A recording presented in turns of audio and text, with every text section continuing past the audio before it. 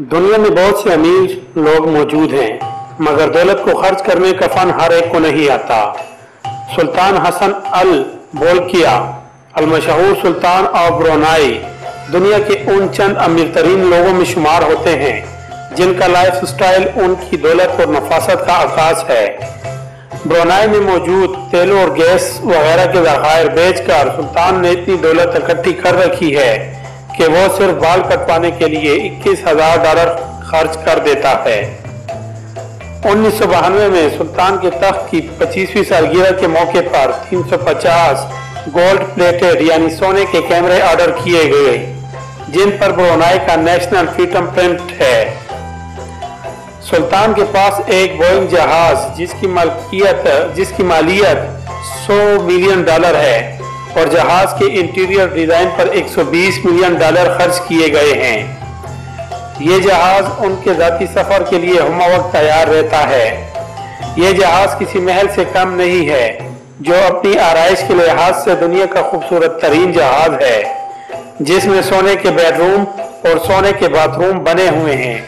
اس جہاز کے علاوہ، سلطان آبرونائی چھ چھوٹے تیاروں اور دو ہیلی کیپٹروں کے بھی مالک ہیں۔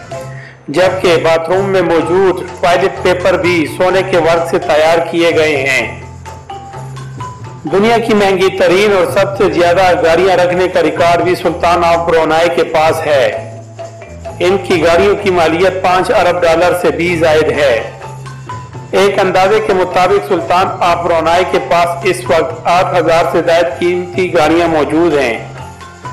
یہ ہزاروں گاڑیاں کسی عام گیراج میں نہیں بلکہ جہازوں کو کھڑا کرنے کے لیے بنائے گئے خاص ہینگرز میں پارک کی جاتی ہیں اور ان کی دیکھ بھال کے لیے سینکڑوں غیر ملکی ماہرین کو تعینات کیا گیا ہے، جن کے اخراجات مزید کروڑوں ڈالرز میں بنتے ہیں۔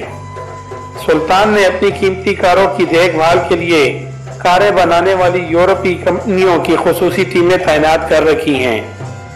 کاروں کے اس حیرت انگیز ذخیرے میں چند کاریں تو ایسی بھی ہیں جو دنیا میں کسی اور کے پاس نہیں، کیونکہ انہیں خصوصی طور پر کروڑوں ڈالر کی عوض صرف سلطان آف رونائی کے لیے تیار کیا گیا۔ دوستو، دنیا کا امیر ترین شخص بل گیٹس اپنی دولت کا اسی فیصد حصہ غریبوں میں تقسیم کر دیتا ہے۔ اور دوسری جانب یہ مسلمان حکمران ہے جو اپنے سب سے قریبی پڑوسی ملک یعنی ملیشیا، کے شہروں کو شہریوں کو برونائی میں داخل بھی نہیں ہونے دیتا، جو کہ ایک قابل افسوس امر ہے۔